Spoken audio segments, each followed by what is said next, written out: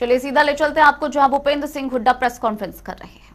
आपको मालूम है, जब भी मैं आता हूँ, सभी साथियों से मिलने का प्रयास करता हूँ, ताकि कोई ये साथी नहीं कह पाए। कि भाई हम हम रह गए, बात नहीं हुई, हमारे सवाल रह गए। तो सारे साथी सवाल भी पूछ लेंगे। लेकिन जो मुख्य चार पाँच मुद्दे हैं, जिसको मैं हाईलाइट करना चाहता हूँ, जो हमारे लिए बड़े ज़रूरी हैं।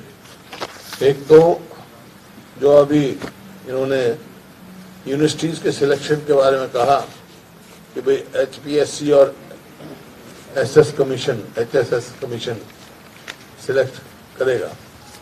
वो यूनिवर्सिटीज की ऑटोनॉमी खत्म करने का एक कदम होगा, जो कि शिक्षा के हित में नहीं है। और ना ही नई शिक्षा के, जो शिक्षा नीति है केंद्र की, उसके अनुसार है ये। ना ही यूजीसी की गाइडलाइंस के अनुसार है, ना ही जो आपने यूनिवर्सिटी के रूल्स बनाए हुए हैं, उसके अनुसार नहीं है। सब यूनिवर्सिटीज ने अपने अपने बनाए हुए हैं, आप देख सकते हैं। ये तो एजुकेशन पॉलिसी है 2020 की। ये तो ये पॉलिसी तो बात करती है ऑटोनॉमी कॉलेजेस को देने की, और ये यूनिवर्सिटीज का ऑटोनॉमी खत्म करने जा रहे हैं। ये आप देख रहे हैं इसमें। उसके अलावा आप यूजीसी की गाइडलाइंस देखें, ये गाइडलाइंस है यूजीसी की, उसमें साफ़ प्रोविज़न है कि क्या, कैसे सिलेक्शन होगी, किस पोस्ट के लिए क्या होगा। शॉर्ट टाइटल है application minimum qualification senior professor के लिए क्या होगी, इसके अलावा क्या सिलेक्शन का प्रोसीजर होगा। नोटिफिकेशन हुआ है। सिलेक्शन कमेटी क्या है? सिलेक्शन कमेटी एग्जेक्ट जैसे यूनिवर्सिटी में एग्जेक्टिव काउंसिल होती है, वो तय करती है। और उसमें कौन कौन होना चाहिए, ये आप देखें। हैं? हाँ एमडीयू में। इसमें भी है वो। कौन कौन होना चाहिए? ध्यान आगे। वही फिर सारी यूनिवर्सिटीज का इसी को, इसी गाइडलाइन के अनुसार ही तो बने, हैं ना? ये?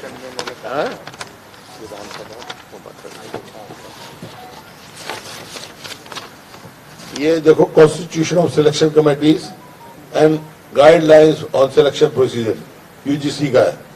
उसमें कौन कौन होंगे, उसमें इन्होंने प्रोवाइड किया है कि assistant professor in the university के लिए selection committee for the post of university shall consist of vice chancellor और is nominee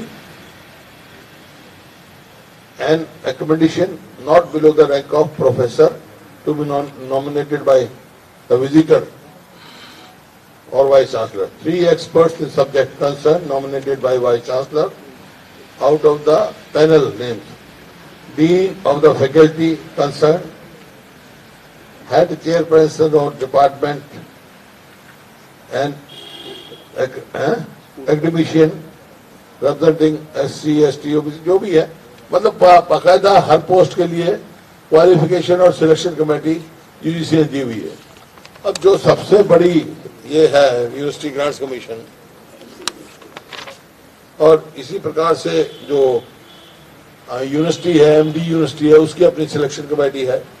अपॉइंटमेंट्स की सिलेक्शन कमेटी फॉर अपॉइंटमेंट्स कौन कौन होगा? वाइस चांसलर होगा हेड ऑफ़ डिपार्टमेंट होगा टू आउटसाइड एक्सपर्ट्स होंगे।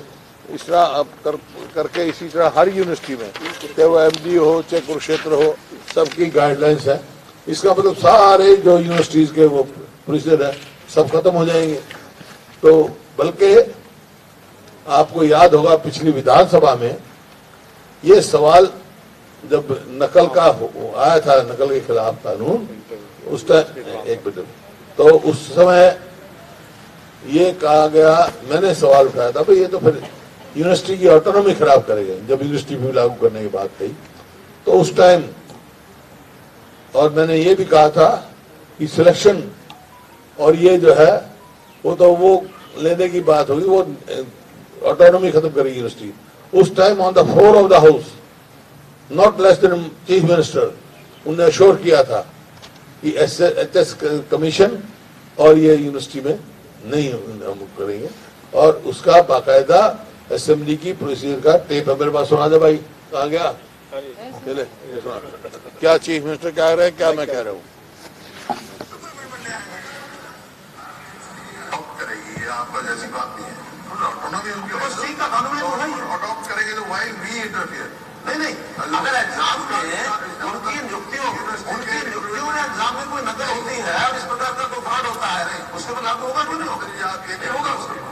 यूनिवर्सिटी का examination selection H S S भी नहीं करेगा। नहीं करेगा वो तो अपने एग्ज़ाम जो होते हैं उसकी नहीं करेगा।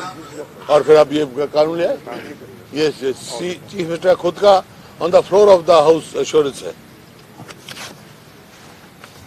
ये एक बहुत बड़ा ऐसा फैसला होगा जो शिक्षा पर बड़ा भारी उल्टा प्रभाव डाल रहा दें सीएम ने भी खड़े होकर कहा ने किया नाम करें। सीएम तो इनसे बड़ा है। No less than CM. और इसी का आप देख रहे हैं यूनिवर्सिटीज की रैंकिंग जो है 2021 की जो 9 सितंबर को रैंकिंग आई है हमारी एक यूनिवर्सिटी के सिवाय पहली सौ में नहीं है पूरे देश में। एक्सेप्ट ये एमडीयू छिहत्तरवे नंबर पे है। और बाकी ये कुरुक्षेत्र एक सौ उन्नीसवें स्थान पे होगी।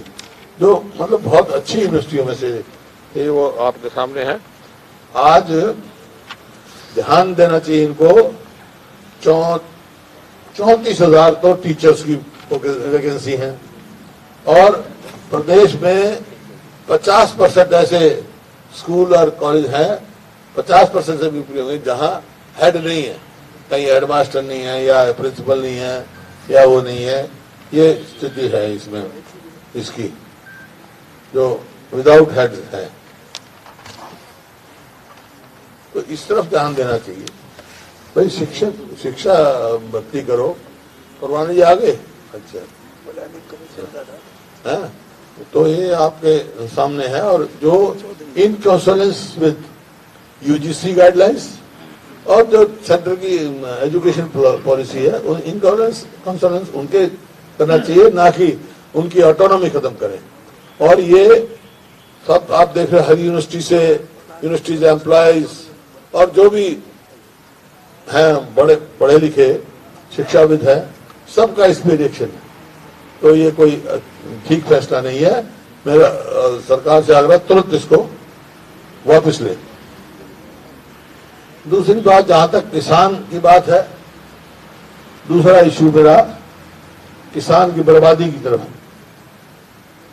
ये इनके कोई सा घोषणा पत्र उठा के देख लो आप। ये है बीजेपी जेजेपी का कि एक एक दाना खरीद करेंगे हम एमएसपी एक एक दाना खरीद का तो क्या आप बाजरे में क्या हुआ? बाजरे में 600 इन्होंने भावंतर रखा और बाजरा बिका 800 900 वैसे भाव उसका 2250 एमएसपी नहीं मिला।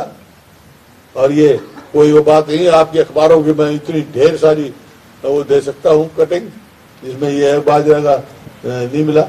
इसी प्रकार से धान की धान की देखो पीआर पीआर नहीं बिका तो गाँव बड़ौली के किसान आत्महत्या की चेतावनी तक दे रहे हैं। और कहीं मंडी बंद कर रहे हैं, कहीं ताला लगा रहे हैं, और इन्हें ऑल ऑफ़ सडन खरीद बंद कर दी। और एमएसपी नहीं दे रहे उसकी उसकी, और धान खरीद में आज से दो साल पहले भी कहा घोटाला हुआ कि हम जाँच कराएँगे उसकी जाँच की रिपोर्ट कहा है? भ्रष्टाचार चरम सीमा पर है। आज जो जाँच की बात कही जाँच इस इस साल भी बहुत ज़बरदस्त घोटाला हुआ है। यूपी की आई हैं? यूपी की धारणा आई है। हाँ मतलब जिस प्रकार से घोटाला किया यहाँ के खरीदार तो यहाँ के किसान को तो धान खरीदा नहीं बाहर से खरीदते हैं।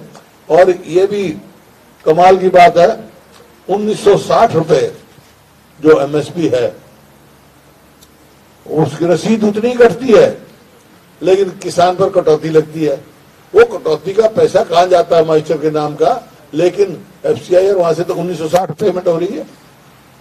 तो ये बहुत गंभीर विषय है और किसान को हर चीज़ का परेशानी देख रहे हैं। अब यह रोज बयान आ जाता है सरकार की तरफ़ से, कभी किसी मंत्री का, कभी किसी का। कि भाई, खाद की कोई कमी नहीं है हरियाणा में। तो मेरा एक ही सवाल है, खाद की कमी नहीं है तो मेरी बहन बेटियाँ लाइन में क्यों खड़ी है? क्यों अखबार वाले फ़ोटो देते हैं एक एक कट्टे के लिए सवेरे बैठती हैं, शाम तक तो जाती है, कमी नहीं है तो ऐसा तो मैंने कभी सुना नहीं, कभी देखा नहीं, हमारी बहन बेटियाँ लाइन में खड़ी हो। तो इस प्रकार से जो तीसरा मुद्दा मेरा है, स्वास्थ्य। कोरोना आया, महामारी थी। सबने लड़ाई लड़ी। लेकिन सरकार ने क्या कदम उठाए?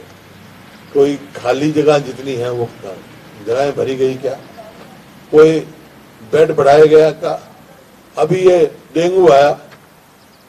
मतलब बहुत सारे अस्पताल तो ऐसे हैं डिस्ट्रिक्ट लेवल के, जहाँ डेंगू जो मशीन टेस्ट करती है ना प्लेटलेट्स की सेपरेशन सेपरेट करती है, वही अवेलेबल नहीं है। डेंगू टेस्ट का पूरा किट अवेलेबल नहीं है और लोगों को बेड में मिलने में परेशानियाँ बेड भी नहीं मिल रहे, बहुत सारी परेशानियाँ हैं। तो कोई सारी इनकी हेल्थ वो है नहीं। और इनकी सरकार की लापरवाही इस बात से नज़र आती है। 2021 और इसकी जो सेंट्रल गवर्नमेंट से हेल्थ इंफ्रास्ट्रक्चर के लिए मदद मिली है। सेंट्रल गवर्नमेंट ने बहुत सारे स्टेटों को दिए हैं। हमारे पड़ोसी पंजाब को 400 करोड़ और हिमाचल को शायद 80 करोड़ के करीब दिया है, लेकिन अठानवे करोड़, लेकिन हरियाणा को एक पैसा नहीं दिया। क्यों? क्योंकि इन्होंने क्लेम भी नहीं रखा। इससे ज़्यादा निष्क्रिया इग्नोरेंस या आप कहते इनएक्टिवनेस किसी का सरकार की मैंने देखी नहीं है और हेल्थ इंफ्रास्ट्रक्चर कहीं इंप्रूव नहीं किया। कोई नया अस्पताल सात साल में नहीं बनाया। कोई नए बेड नहीं बताए ये कोरोना के बाद, जबकि अब बार बार कह रहे हैं भाई, अभी तीसरी वेव का भी कोई वो नहीं है। हालाँकि देखो, भगवान ठीक करे, ना आए तो बहुत अच्छा है, क्योंकि सेकंड वेव में तो बहुत ज़्यादा डेथ्स गई। और चीफ मिनिस्टर ने फ्लोर ऑफ़ द हाउस कहा था, जब हमने कहा, भाई, जो ऑक्सीजन की कमी से कोरोना में डेथ हुई तो उन्होंने कहा, नहीं हुई। फिर उन्होंने हमारे को अश्योर किया था कि मैं हाई लेवल ऑफिसर कमेटी बनाऊँगा। और वो हर ज़िले पे जाके देखेंगे। लेकिन अब तक वो कमेटी नहीं बनी। अब तो डेंगू भी आ गया। कोई कमेटी नहीं बनी। इस वास्ते ये आपके सामने है।